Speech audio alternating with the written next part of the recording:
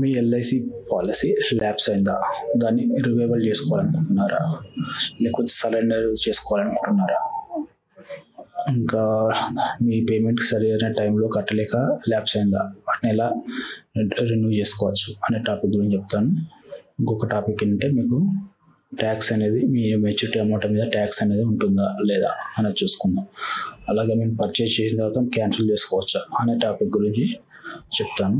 First మనం చూసుకోవాల్సింది grace period అనమాట ఎల్ఐసి పేమెంట్ అనేది మనం డ్యూ డేట్లోకి డ్యూ డేట్లో రేపు డ్యూ డేట్ ఉంటే అన్నిటికన్నా ముందు మీరు ఇది చూడాల్సింది. ఇది ఫైనాన్షియల్ అడ్వైస్ కాదు. ఎందుకంటే ఫైనాన్షియల్ అడ్వైజ్ అనేది పర్సన్ టు పర్సన్ బట్టి సిచ్యువేషన్ బట్టి వేరియస్ ఉంటాయి. కాబట్టి మనం స్పెషల్గా ఫైనాన్షియల్ అడ్వైజర్ని కాంటాక్ట్ అవుతేనే బెటర్ అది కూడా మంచి ఫైనాన్షియల్ అడ్వైజర్ని సో ఇప్పుడు నెక్స్ట్ ఏంటంటే మనం చెప్పాల్సింది ఇది నా డిస్క్లైమర్ నన్ను ఏం బ్లేమ్ చేయాలి. అన్న మిస్టేక్స్ ఇక్కడ మీరు ఫైనాన్షియల్ డెసిషన్లో చిన్న డెసిషన్ ఉన్నా కానీ లైఫ్లో చాలా ప్రాబ్లమ్స్ వస్తాయి. సరే ఇప్పుడు చూసుకుంటే గ్రేస్ పీరియడ్ అంటే ఏంటంటే థర్టీ డేస్ ఎల్ఐసి పేమెంట్ డ్యూట్కి డ్యూ డేట్కి థర్టీ డేస్ అనేది ఎక్స్ట్రా ఇస్తారు. దాన్ని గ్రేస్ పీరియడ్ అంటారు. క్రెడిట్ కార్డు గ్రేస్ పీరియడ్ లాగా.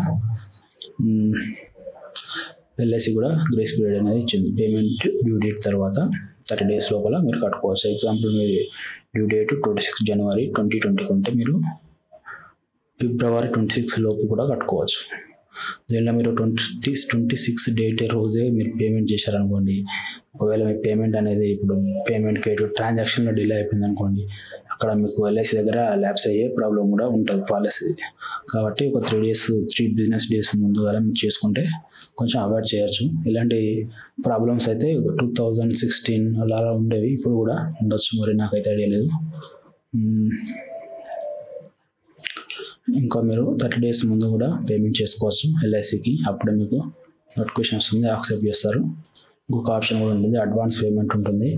మీరు ముందుగా అడ్వాన్స్ పేమెంట్ చేస్తే అది ఆటోమేటిక్గా వాళ్ళు ఉన్న అమౌంట్ తోటి డిడక్ట్ చేసుకుంటారు. ఇంకొకటి పాలసీ ల్యాబ్స్ అంటే ఏంటి?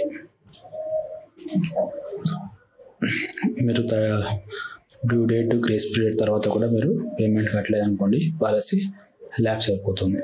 దాన్ని మీరు ఎలా రివైవ్ చేసుకోవచ్చు? ఎలా రివైవ్ చేసుకోవాలనుకుంటే మీరు విత్ ఇన్ త్రీ ఇయర్స్ లోపల చేసుకోవచ్చు.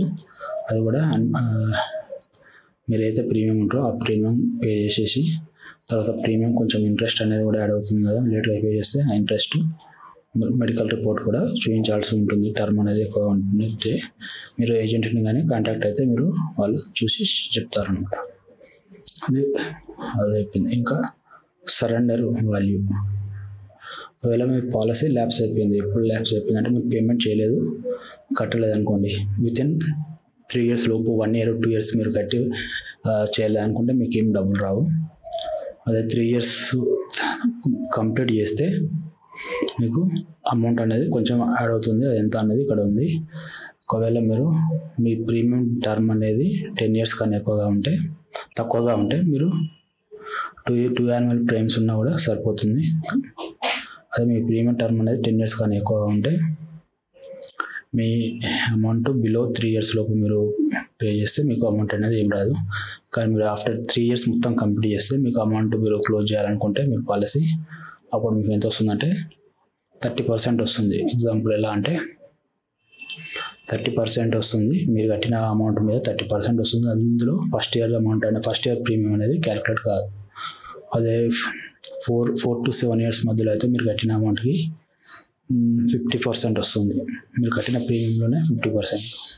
అదే మీరు maturity date maturity one year two year ఉందన్న లోపల మీరు క్లోజ్ చేస్తే నైంటీ పర్సెంట్ మీ ప్రీమియం అనేది పేడ్ చేసిన వాటికి వస్తుంది. వితౌట్ బోనస్ తోటి వస్తుంది. వీటిని గ్యారెంటీడ్ సర సరెండర్ వాల్యూ అండ్స్ అంటారు. అదే మీరు బోనస్ కావాలి అని కావాలనుకుంటే దాన్ని స్పెషల్ సర సరెండర్ వాల్యూ అంటారు. ఈ ఎగ్జాంపుల్ చూసుకున్నట్టయితే మీరు every year one lakh pay చేశారు. టోటల్ త్రీ ల్యాక్స్ పే చేశారు త్రీ ఇయర్స్కి ఇప్పుడు మీకు ఎంత వస్తుందంటే థర్టీ పర్సెంట్ అండ్ టూ ల్యాక్స్లో మీకు సిక్స్టీ థౌజండ్ అనేది వస్తుంది అనమాట ఈ ఇది గ్యారెంటెడ్ సరెండర్ వాల్యూలో మీకు అలా కాకుండా ఇక్కడ స్పెషల్ సరెండర్ వాల్యూ అని ఉంటాయి. ఏమైనా బోనస్ ఉంటాయి అంటే మీ ఇన్సూరెన్స్ ప్రీమియం బట్టి టర్మ్ని బట్టి ఏ పాలసీని బట్టి మీకు ఇది డిసైడ్ చేస్తారు. వాళ్ళు ఎల్ఐసి అది ఇన్సూరెన్స్ కంపెనీ వాళ్ళు డిసైడ్ చేస్తారు. ఈ స్పెషల్ సరౌండర్ వాల్యూ ఫార్ములా ఎలా ఉంటుందంటే ఇలా ఉంటుంది paid off value plus bonus surrender surrender value factor అనేది కంపెనీ కంపెనీ టు ఆధారపడి ఉంటుంది. Three years thirty three years లోపల అయితే జీరో ఉంటుంది. అదే mm, త్రీ ఇయర్స్ నుండి తర్వాత అయితే twenty seven percent thirty percent అనేది ఉంటుంది. ఎగ్జాంపుల్ ఇక్కడ చూస్తే మీరు. ఈ సరెండర్ వాల్యూ ఫ్యాక్టర్ దీనికి సరెండర్ స్పెషల్ సరెండర్ వాల్యూ కన్నా మీరు పేడ్ ఆఫ్ వాల్యూ గురించి తెలుసుకోవాలి. పేడ్ ఆఫ్ వాల్యూ అంటే మీరు త్రీ ఇయర్స్ కట్టిన తర్వాత అమౌంట్ కట్టిన తర్వాత మీరు పాలసీ కంటిన్యూ చేయాలనుకుంటున్నారు. కానీ పేమెంట్ అయితే ఏం కట్టాలనుకుంటున్నారు అనుకోండి. అప్పుడు మీరు ఏమవుతుందంటే మీ సమ్మర్ష్యూడ్ అనేది మీకు కట్టిన ప్రీమియమ్స్తో uh, తక్కువ అయిపోయి అది కంటిన్యూ అయిపోతుంది అనమాట దాన్ని పేడ్ ఆఫ్ వాల్యూ వాల్యూ అంటారు అనమాట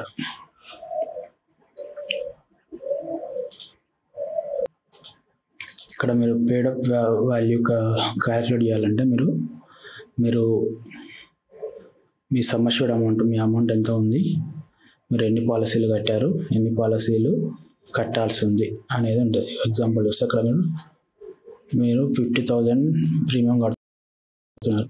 పర్ ఇయర్కి మీరు త్రీ త్రీ ఇయర్స్ కట్టారు. అది మళ్ళీ టెన్ ల్యాక్స్ అనేది మీ సమ్మర్ష్యూడ్ అనమాట మెచ్యూరిటీ మీరు కట్టాల్సిన ప్రీమియం.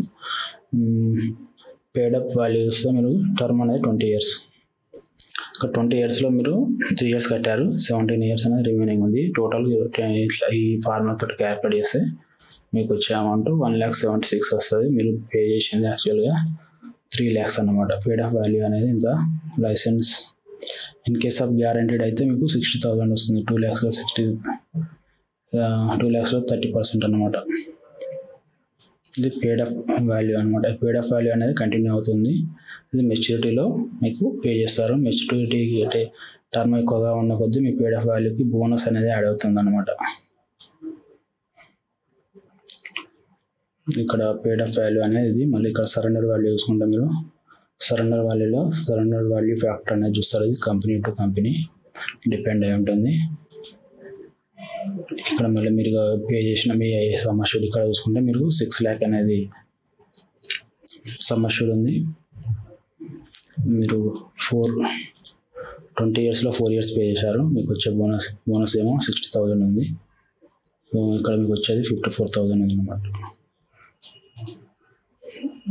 ఇంకా లాస్ట్కి వస్తే ట్యాక్స్ అని మీ క్యాల్కులేషన్ కాకుండా మీ కాన్సెప్ట్ అనేది అర్థం కావాలి. మెయిన్గా ఏంటంటే grace period policy lapse revival surrender value ఇవి సో ఇవి కొంచెం కన్ఫ్యూజ్ ఉన్నా ఇంకా ఇది important tax and LIC maturity మీకు ఎల్ఐసి మెచ్యూరిటీ వస్తుంది కదా అమౌంట్ అవి ఏంటంటే మామూలుగా మీకు పాలసీలు ఎండోమెంట్ ప్లాన్స్ ఉంటాయి. ఏంటంటే ట్రెడిషనల్ ప్లాన్స్ అంటారు. మనం ఇప్పుడు చూసుకునే టర్మ్ పాలసీలకు మీకు రిటర్న్ ఏం రాదు కాబట్టి హెల్త్ ఇన్సూరెన్స్లో కూడా ఏం రాదు కాబట్టి మీ మెచ్యూర్ మీకు అమౌంట్ వచ్చేది ఓన్లీ టర్మ్ ఎండోమెంట్ పాలసీలోనే వస్తుంది. అది ఇది ఎలా వస్తుందంటే మీరు ప్రీమియం ప్రీమియం అనేది ఎవ్రీ ఇయర్ మీరు పే చేస్తారు కదా మీ సమ్మర్షూడ్ అమౌంట్కి టెన్ పర్సెంట్ టెన్ పర్సెంట్ కానీ టెన్ పర్సెంట్ లోపు కానీ ఉండాలి. మళ్ళీ ఇది కూడా మీకు ఈ వాళ్ళు ఇక్కడ సెక్షన్ ఎయిటీసీ కింద మీరు క్లెయిమ్ చేస్తారు కదా ఇది కూడా వాళ్ళు ఇన్కమ్ ట్యాక్స్ వాళ్ళు చెక్ క్రాస్ చెక్ చేసుకుంటారు అనమాట ఇది మామూలుగా జనరల్గా అయితే మీరు అన్ని ట్రెడిషనల్ ప్లాన్స్ అనేది ఈ దీనికి ఎలిజిబిలిటీ ఉంటాయి. ఎగ్జాంపుల్ చెప్పాలంటే మీరు ఫిఫ్టీ థౌజండ్ పర్ ఇయర్ కడుతున్నారు. మీ మీ సమస్యడ్ అమౌంట్ అనేది వచ్చేసి ఇక్కడ టెన్ ల్యాక్స్ ఉంది. ఫిఫ్టీ థౌసండ్ మీరు వన్ ల్యాక్ కట్టినా కూడా మీ యాన్యువల్ ప్రీమియం వన్ ల్యాక్ కట్టినా కూడా టెన్ పర్సెంట్ అనేది లోపలనే ఉంది కాబట్టి మీకు అది అప్లికేబుల్ అవుతుంది. అదే మీరు one time payment annuities pension plans అయితే మీరు ఒకేసారి అమౌంట్ బట్టి వాళ్ళు మెల్లగా మీకు four percent five percent return చొప్పున ప్లాన్స్ ఇస్తారు కదా. అవి అవి వాటికి మీరు ట్యాక్స్ పే చేయాల్సి ఉంటుంది ఎవ్రీ ఇయర్ ఇన్కమ్ ట్యాక్స్లో మీరు క్యాల్కులేట్ చేసుకొని మిగతా ట్యాక్స్ పే చేయాల్సి ఉంటుంది. ఇక్కడ మీరు కూలింగ్ ఆఫర్ ఫ్రీ పీరియడ్ చూసుకుంటే పాలసీ మీరు పర్చేస్ చేసినా విత్ ఇన్ ఫిఫ్టీన్ డేస్ లోపల మీకు మీరు క్యాన్సిల్ చేసుకోవచ్చు.